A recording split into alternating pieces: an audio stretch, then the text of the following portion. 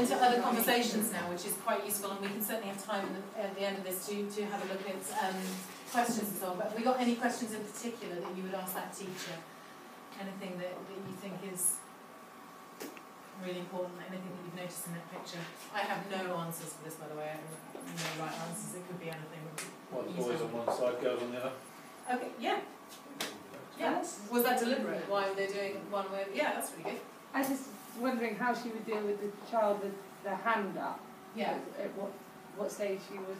Okay, yeah, because it depends what she's doing and what she's expecting from the class, isn't it? Yeah. And then you've got this one kid who's going, mm. Yeah, and how she deals with those Yeah. questions of children that are clearly really anxious to Yeah. get their question. and is it something that you praise and encourage because you want that kind of behaviour Yeah. to carry on, or is it something that no, right now you need to learn actually, Yeah. you need to listen? Yeah. Yeah, yeah. Any others? Does she know their behaviours? So does she know they're engaged? Because there's different levels of engagement there in terms of where they're looking and Yeah. how chilled out they That's the first thing I noticed as well, is these boys back here, Yeah, are they engaged and engaged in doing the task that she's setting them, or are they just like a bit off task and just, yeah. but then at the same time, the kid leaning on a chair might Yeah. come across like he looks bored, but actually at the same time, he might look like he's completely enthralled in everything Yeah. she's saying and soaking Yeah. it all up. Unless you know their behaviours, you might take them Yeah. off for looking bored and actually he's thinking, Yeah, Then that should be exactly. good. So the teacher will know, should know, much more, and she should be able to say, well, no, this student's perfectly fine because blah, blah, Yeah. blah, blah, and this student's da, da, da, da, da. And yeah, and that's what you want from them. And wouldn't it be interesting if we could ask the students some questions as well, like be able to just sort of go behind and just say, okay, what's going on with you right here, and, and do you get what's going on, and so on as well, and just assess the progress. I'd wonder about her chair, about whether that's like a well placed prop, whether she uses that on purpose in order to create that kind of that environment of, you know, Yeah. listen to mother. Storytelling, Yeah. it's a status thing, isn't it? Yeah. I mean, I know in primary school it's very different anyway, obviously, but, but there is a status with the students on the floor and you on a chair. Yeah. And do you deliberately choose to sit yourself in the chair, or do you join them on their level? And, and if so, what effect do you have? I know in drama we use that all the time, and the idea of actually being on their level and making it a circle Yeah. and so they're equal and all of that. So yeah, the idea Worry of about rolling in the Yeah. Okay, good stuff.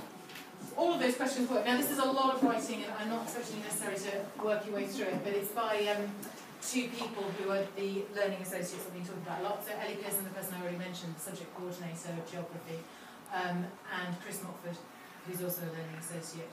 And it's just some stuff that they've said about it. Um, they obviously have done a lot of observations themselves and been observed themselves, so um, they know. Can we get a copy of this video?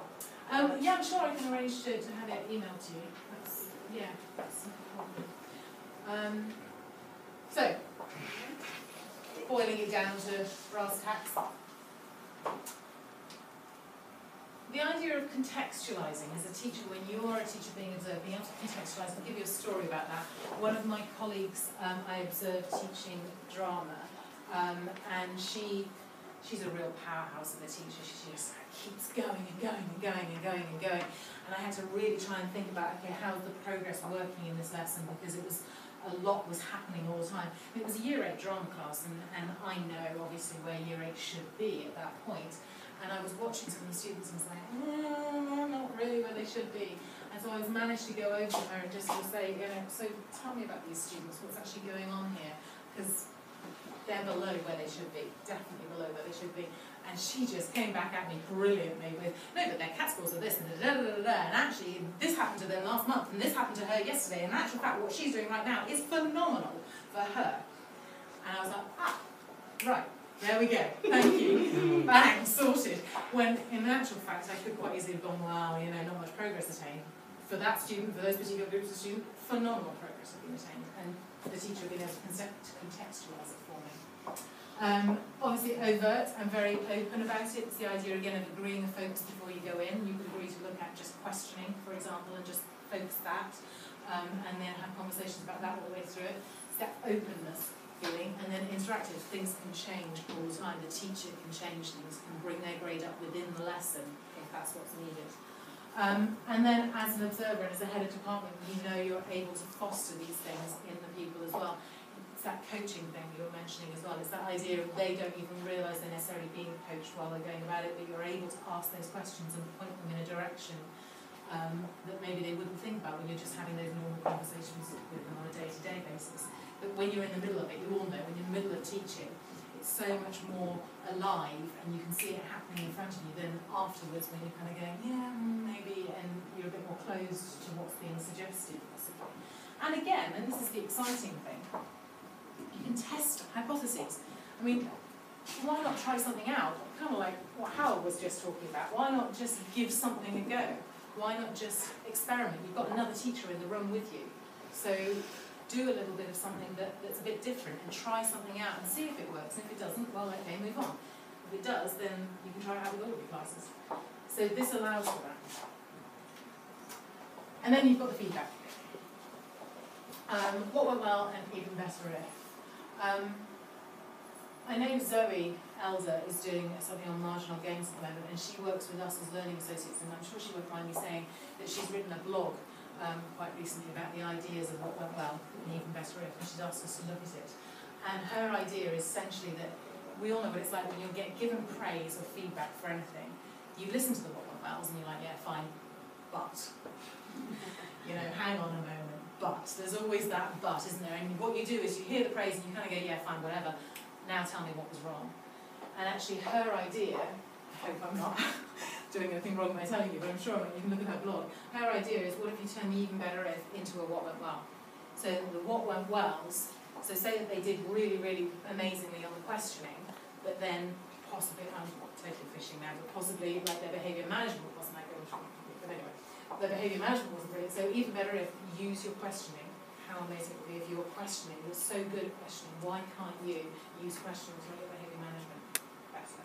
So that the even better if is integral into the what went well. The what went wells become the even better if, and it's the same thing. And so you're not always listening for that but, you're always listening for that bad moment. And also, it makes it a discussion.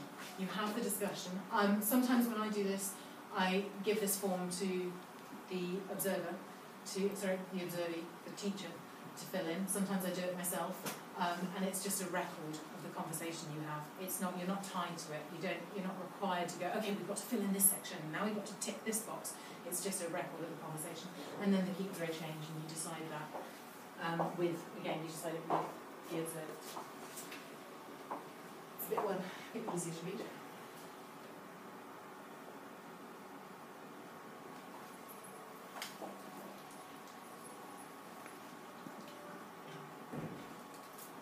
I was going to ask you what the students say about it. Do they ever say why why we've got people coming in? What we do? They checking that this is any good. You know, Yeah, I, the students in this school now are so used to it. It's unreal. They are so used to it. I mean, when I was observing that head of geography, it was me observing with Zoe. So there's two of us in the classroom anyway. And then um, poor Ellie, she had she had sixth formers then coming in to do some other kinds of observations to do with something that she was doing on another curriculum. And then the head walked by, the learning walk. So she managed to have, I think, at least five adults in the room at one time. And the students just carried on. Year 10 GCSEs, not the nicest kids in the world, but some of them were, really good, but all of them, no problem, just carried straight on, they were totally used to it. And that's the open door policy that's used, them, they're completely used to having. Um, sometimes they do ask, I mean, sometimes it's a bit like, oh, hang on, wait, we've got like lots of people, but most of them are so used to it, and most of them are actually used to being asked questions by the observers all the time as well, and actually value it, and then they always feed back to you afterwards and say, Miss, you're going to guess what she asked me, and I told her this as well, and it was great. Thank you. you know, it's that kind of feel to it, which is really good. And they do, they tell you the truth, but they, they also, they can speak the speak. You know, they've, they've learned it enough that they know how to. So, and that's because of years of doing it and, and sort of knowing how to do it. Um,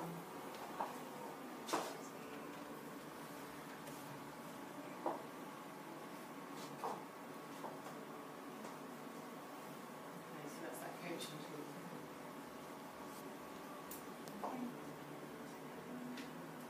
Um, we're at the end, so any questions? Anything else that comes to mind before I send you back down because the music's pumping out from here? We have a question that's Yeah. okay. Um, clearly with, with coaching, you wouldn't, you wouldn't want to find yourself in a position of giving advice in some Mm. sort of mentoring situation.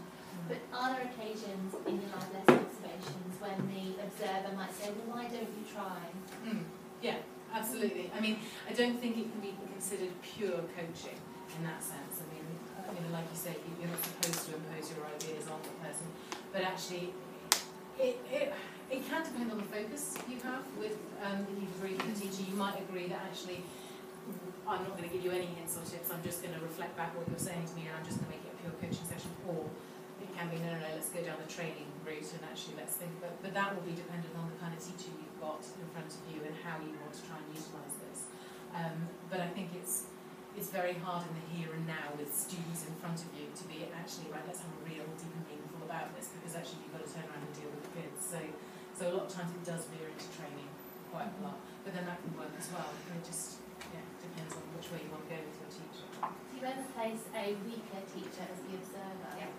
Yeah, I do that all the time. And if they were offering poor advice, the classroom teacher would choose to.